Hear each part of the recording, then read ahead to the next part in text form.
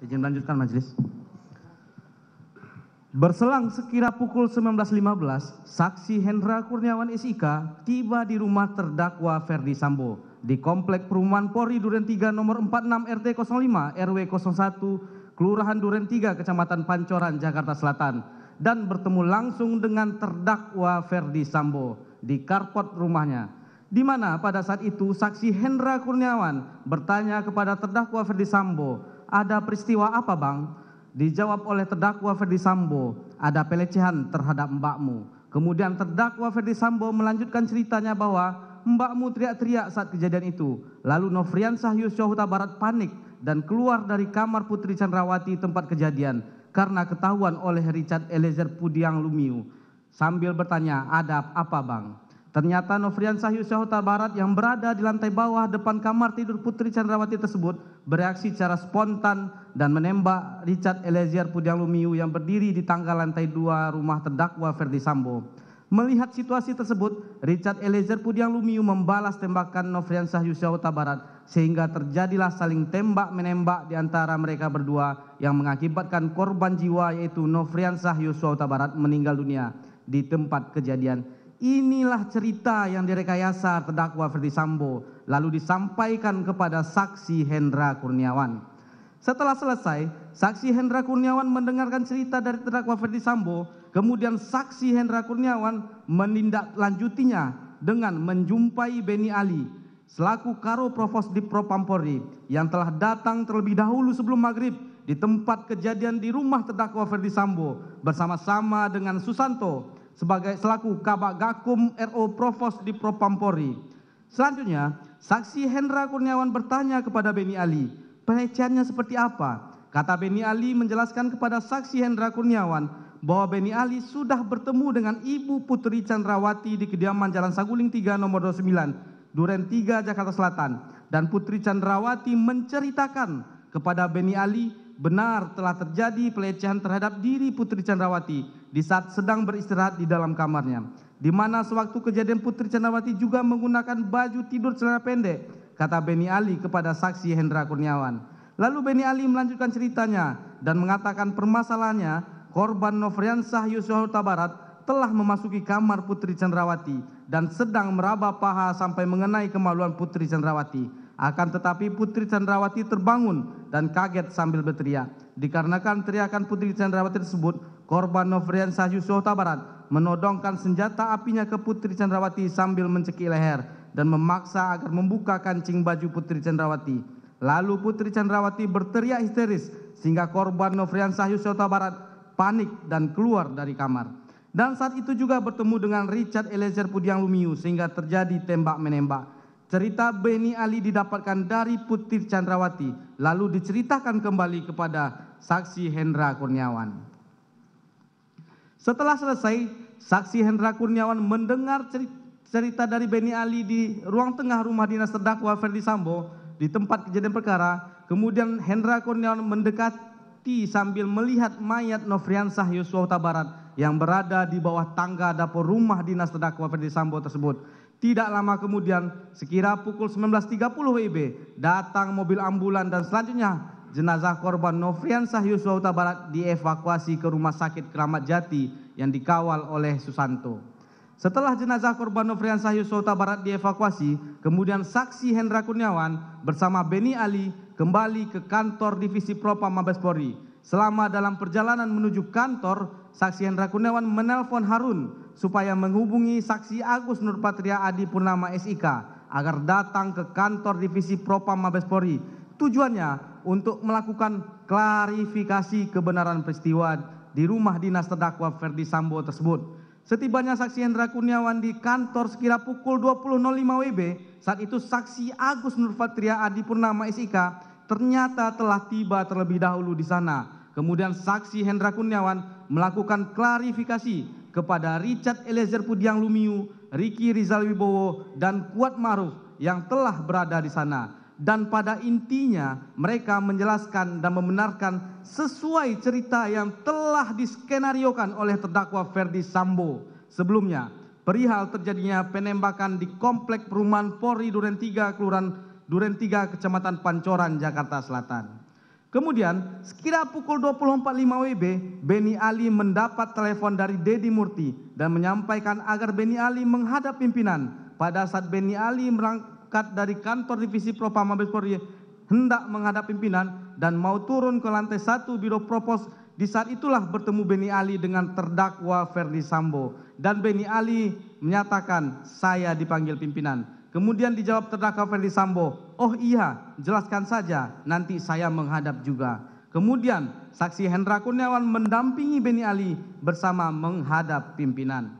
Sepulangnya terdakwa Ferdi Sambo, saksi Hendra Kurniawan dan Beni Ali menghadap pimpinan. Selanjutnya, pada pukul 22.00 WIB, saksi Hendra Kurniawan dan terdakwa Ferdi Sambo kembali ke ruangan pemeriksaan Biro Provos di lantai 3 dan langsung menemui Richard Eliezer Pudiang Lumiu, Riki Rizal Wibowo, dan Kuat Maruf untuk menyampaikan dan menyamakan pikiran sesuai skenario yang telah dibuat sebelumnya atas peristiwa penembakan yang terjadi pada diri korban Nofriansah Yosua Huta Barat.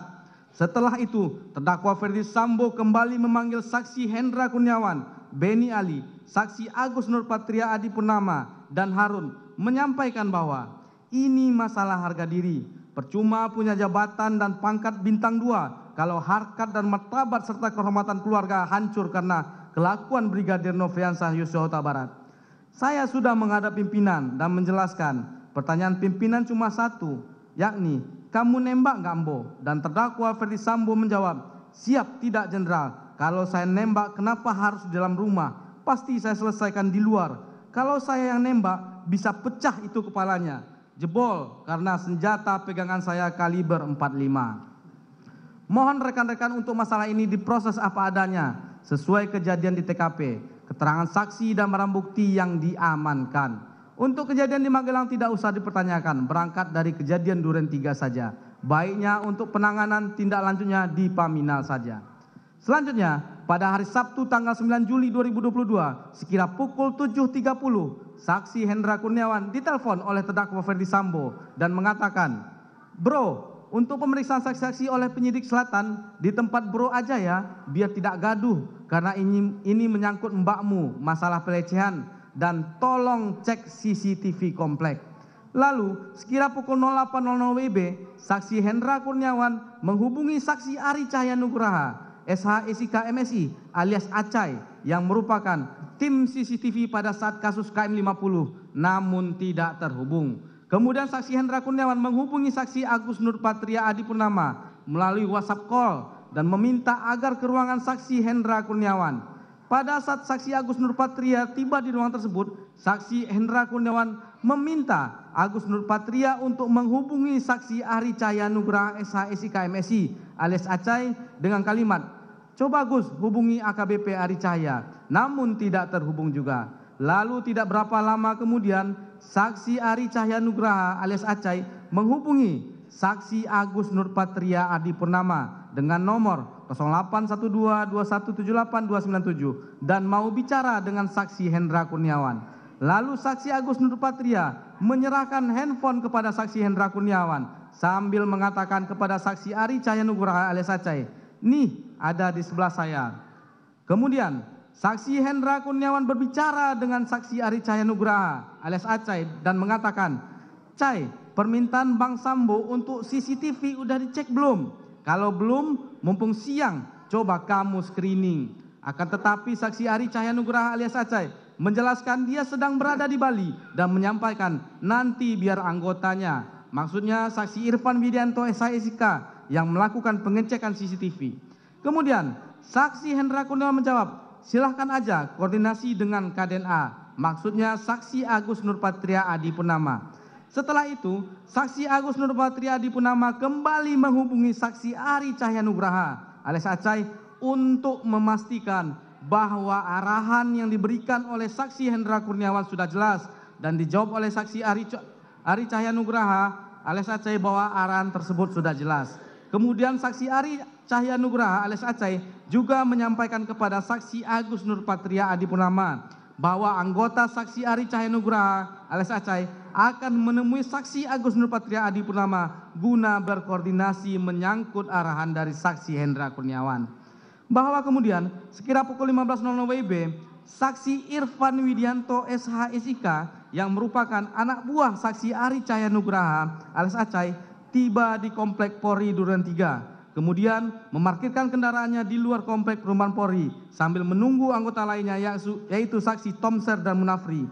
Berselang tidak berapa lama kemudian, sekira lima menit setelah mereka tiba di parkiran tersebut dan selanjutnya Saksi Irfan Widianto menelpon saksi Ari Cahaya Nugraha alias Acai dan menyampaikan bahwa saksi Irfan Widianto sudah tiba di komplek perumahan Polri Duren 3 dan saksi Ari Cahaya Nugraha alias Acai memberikan nomor handphone saksi Agus Nurpatria Adipunama. Maksudnya Kaden A Paminal dan saksi Irfan Widianto meminta menghadap. Selanjutnya saksi Irfan Widianto menghubungi saksi Agus Nurpatria Adipunama Maksudnya Kaden A Pemindal dan menyatakan bahwa saksi Irfan Widianto adalah anggota Ari Cahya Nugraha alias Acai dan meminta menghadap saksi Agus Nurpatria Adipunama.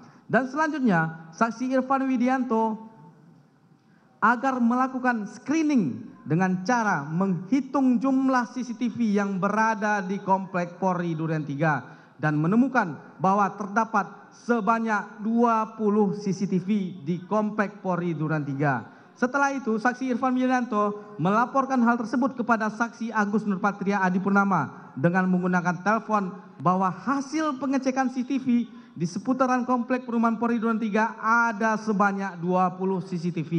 Selanjutnya saksi Agus Nurpatria Adipurnama juga melaporkan jumlah CCTV di seputaran komplek perumahan Duren 3 tersebut kepada saksi Hendra Kurniawan yang sedang berada di rumah dinas terdakwa Ferdi Sambo bersama saksi Arif Rahman Haripin dan terdakwa Ferdi Sambo ke kemudian Agus Nurpatria di Punama mengatakan, "Bang, izin anak buahnya Acai laporan ke saya ada sekira 20 CCTV." Kemudian saksi Hendra Kurniawan mengatakan, "Oke, jangan semuanya, yang penting-penting saja."